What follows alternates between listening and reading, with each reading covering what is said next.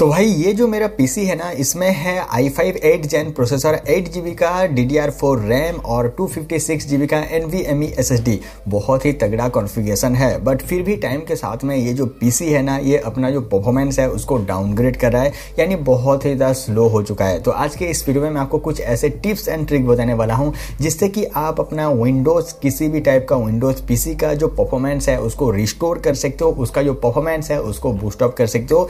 इसके लिए आपको कुछ टिप्स जो है फॉलो करने पड़ेंगे, जो कि मैं आपको स्टेप बाय स्टेप आपको इस वीडियो में बताने वाला हूँ। तो आप अगर इंटरेस्टेड हो इस टॉपिक के बारे में तो मेक श्योर इस वीडियो को अंदर देखते रहना और चैनल पर नहीं आए हो तो चैनल को सब्सक्राइब करके ही जाना। तो चलिए इस वीडियो को स्टार्ट करते हैं। सो so गाइस सबसे पहले मैं आपको ये बताना चाहूँगा कि आपके पास में कोई भी टाइप का डेस्कटॉप या फिर लैपटॉप हो, या फिर कोई भी वर्जन का विंडोज़ हो, चाहे वो विंडोज़ एक्सपी हो सेवन हो एट हो एट वन वन हो, या फिर विंडोज़ टेन हो विंडोज़ इलेवन हो, जो भी विंडोज़ वर्जन हो, सारे विंडोज़ वर्जन में ये जो टिप्स है, ये काम करेगा। इसके लिए आपको आपके पीसी के ऊपर में एक वेबसाइट जो है डालना पड़ेगा। यानी जो वेबसाइट है, वो यहाँ पे आप स्क्रीन पे देख सकते हो। तो इस वेबसाइट का जो लिंक है, वो आपको डिस्क्रिप्शन में भी मिल जाएगा। तो आप वहाँ पे क्लिक करके इस वेबसाइट के ऊपर में जा सकते हो। यहाँ पे जाने के बाद में आपको सिंपल से इस एप्लीकेशन को जो है डाउनलोड करना होगा। और ये माइक्रोसॉफ्ट का ऑफिशियल एप्लीकेशन है। कोई भी थर्ड पार्टी ये एप्लीकेशन नहीं है। ये बिल्कुल ऑफिशियल जेन्युइन एप्लीकेशन है। तो इसको डाउनलोड करने के बाद में इंटरनेट कनेक्शन के साथ में आपको ये जो एप्लीकेशन है, इसको करना होगा इंस्टॉल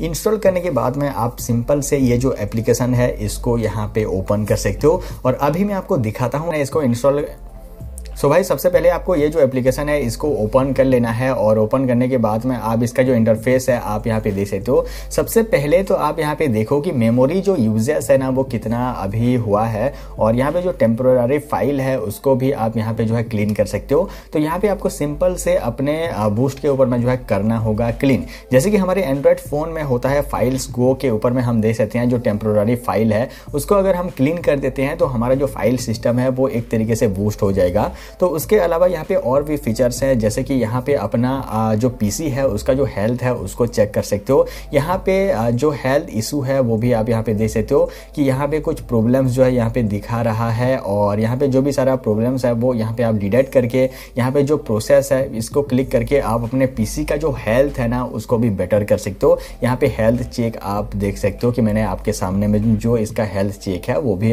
किया है। तो अभी हम जो स्टोरेज मैनेजमेंट है, उसको भी आप यहाँ पे देख सकते हो कि जो सी ड्राइव है उसमें आ, किस तरीके से आप क्लीन कर सकते हो। जैसे कि यहाँ पे डीप क्लीन है मैनेज जो लार्ज फ़ाइल है उसको आप यहाँ पे देख सकते हो। स्टोरेज का जो सीन्स है उसको भी आप चेक कर सकते हो। ऑटोमेटिकली जो क्लीन ऑफ़ टेम्प्रोरी फाइल्स है उसको भी आप यहाँ पे सेट कर सकते हो।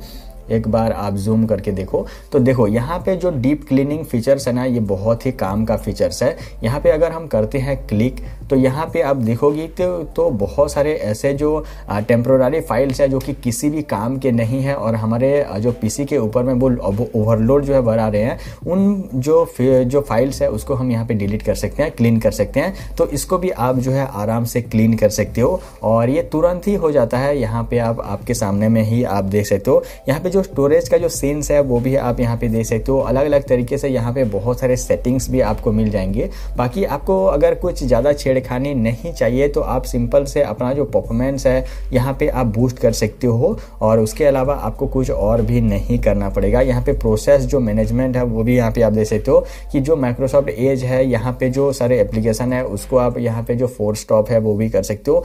तो यहाँ पे बहुत सारे सेटिंग्स हैं और इन सेटिंग्स की मदद से आप अपना जो पीसी का जो परफॉर्मेंस है, उसको वापस से रिस्टोर कर सकते हो। तो यही है गाइज़ वो एप्लीकेशन जहाँ से कि आप अपने पीसी का जो परफॉर्मेंस है, उसको बूस्ट अप कर सकते हो।